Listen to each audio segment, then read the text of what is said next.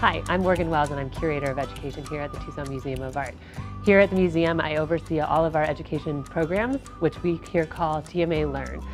TMA Learn provides programming for all ages. We start with youth, then we go all the way to lifelong learning and creative aging, people at the end of their life where they need to have programming and support here. Memories in the Making is our program with the Alzheimer's Association for caregivers and people with dementia. They come to the museum every Friday and they're here with a docent-led tour, looking at the art in the galleries, and then they end the session with art making. They get to experience all different types of art, from printmaking to clay to painting. TMA Learn believes that we can support Tucson schools with the arts. Often schools are limited in their resources with the arts, and here at TMA Learn, we want to be a resource for the Tucson community by offering field trips and art making, as well as gallery experiences. So kids that come to the museum on a one-time basis, they often come year after year after year.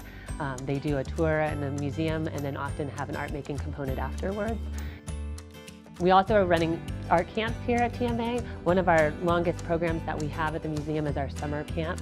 Our summer camp has been here over 55 years. We're actually seeing generations before bring their children. I've even had grandparents say that I brought my kid here and now I'm bringing my grandkids here. So that's kind of exciting. And it's a fun time you go to the museum, we're outside, we're sketching from nature, we're sketching from artwork, um, and they get to play in the education center. We even watch art-related movies as well as do many different activities, including photography, clay, painting, all sorts of things.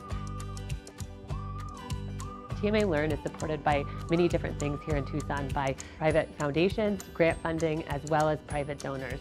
And here we do a lot of things for free for the Tucson community. And so without that funding, we wouldn't be able to do what we do.